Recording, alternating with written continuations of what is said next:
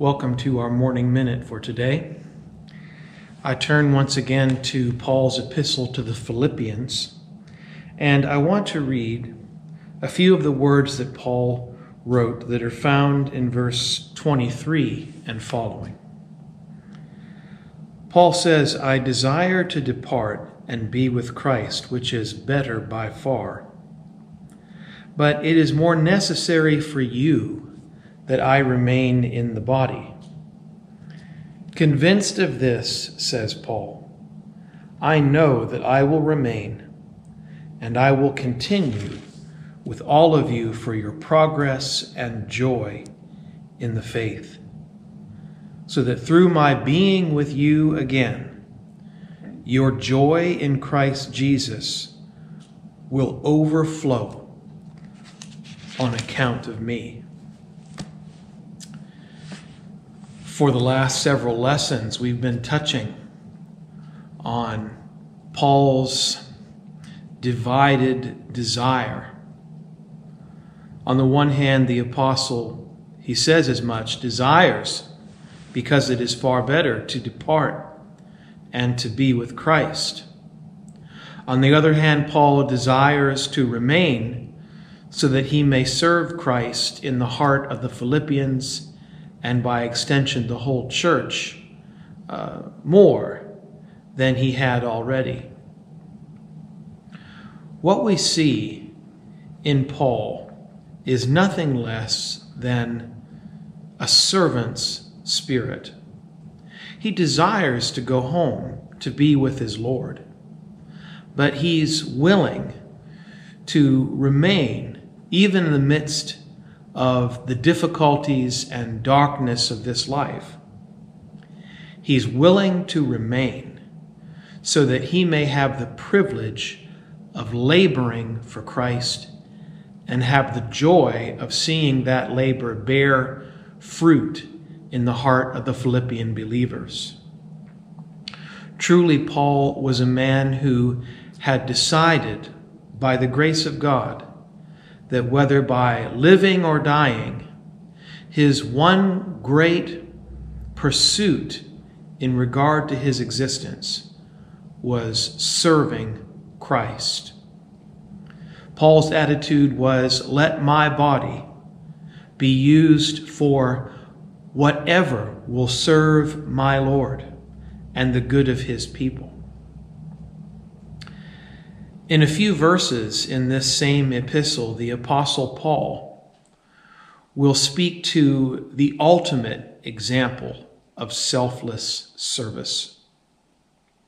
We celebrate that selfless service every year at Advent, where although certainly it would have been more pleasant and enjoyable and blessed for Jesus Christ to remain with his heavenly Father in the realms of glory.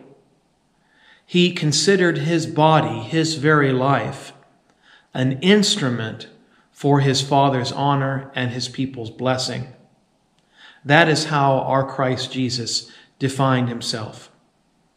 And so willingly, he laid aside the glory of heaven and he entered into the comparatively shadowy realm of human beings enduring being surrounded by our sins and our depravities, he set his face toward the cross and there made the ultimate sacrifice of his body for the redemption of his people.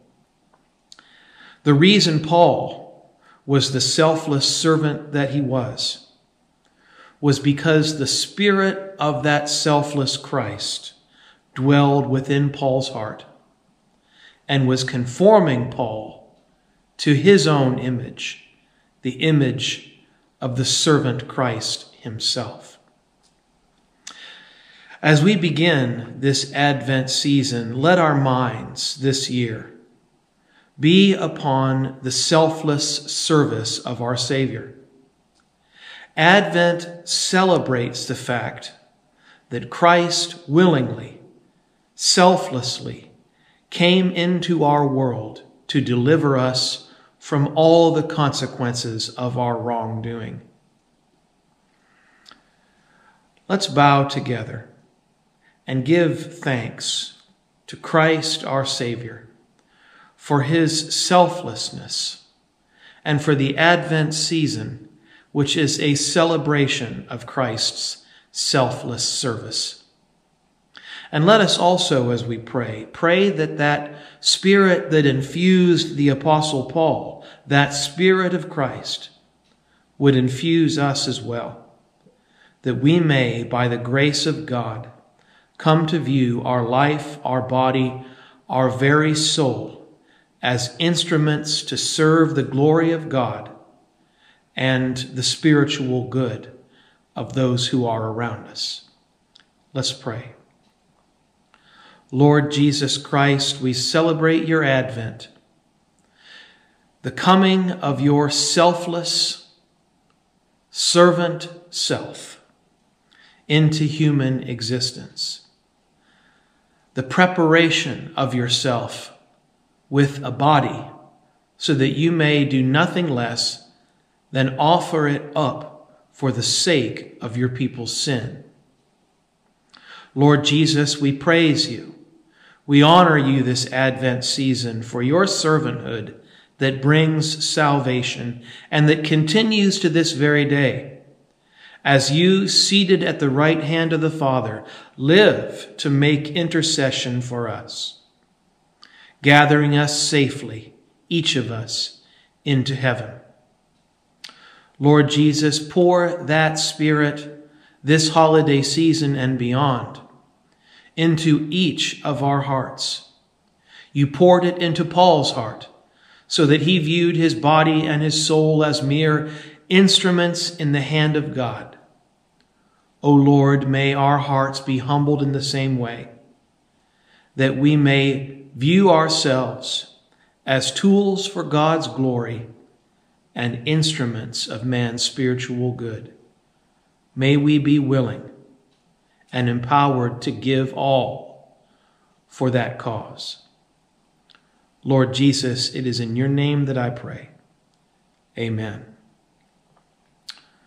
Well, thank you so much for joining me today. May God bless you, and I will see you tomorrow.